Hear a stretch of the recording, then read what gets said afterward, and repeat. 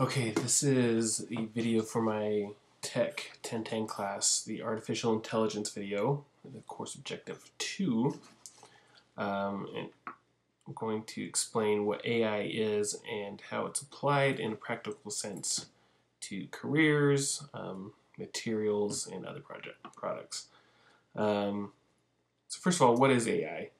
AI, according to our book, is something made or produced by human beings that it, the that brings that ability to acquire and apply knowledge and skills.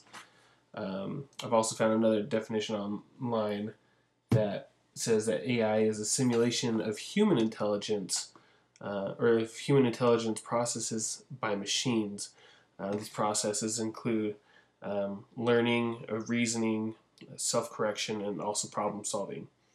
And the best way that I've found, um, or a very early example that I found with AI, is Deep Blue, the chess playing computer that was developed by IBM that beat um, Kasparov in a game of chess.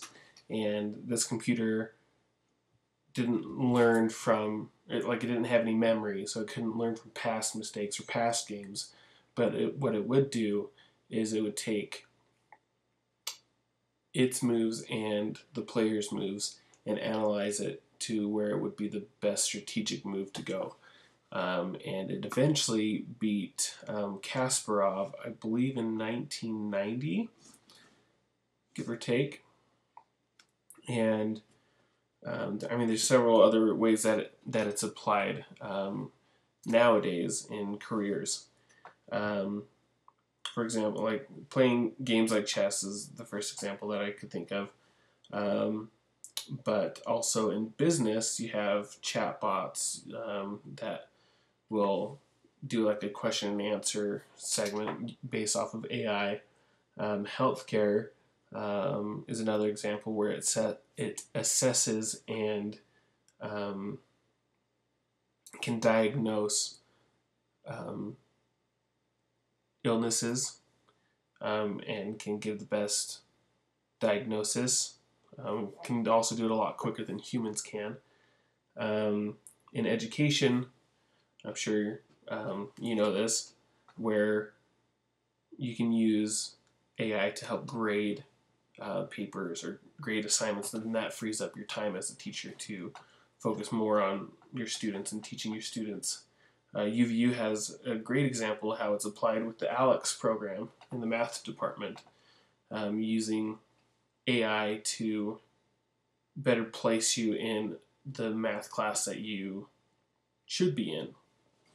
Um, we can also see AI applied in finances. You see that a lot with uh, phone apps where you can hook your um, bank account to this app that has AI and it will tell you the best way to spend your money, invest your money. Um, one of the best examples that I can think of is Mint. Um, the the app Mint um, tells you how to invest, how where you're spending, how you're spending, what your spending habits are, how like your saving habits as well. Um, so, but it also, but also like TurboTax is run off of an AI bot that analyzes your W two forms and all your tax return forms, and then will kick out you know the number that you'll probably get back from the government on your tax returns. Um, Another one that I thought was interesting of how it's applied is in law. And in law, just there's a lot of paperwork that you have to go through, and it's very time consuming, very a very tedious work. And you can use AI to scan through um, those documents and come up with a synopsis of the paperwork, uh, which I thought was kind of interesting. I never really thought of having AI involved in um, the law field. And lastly, I think this is the most prevalent one, is manufacturing and um, how you can use AI to manufacture um, a car or you know in an assembly line. Each robot has its own task to perform, um, and it's it's a very repetitive task, but they do it proficiently as well.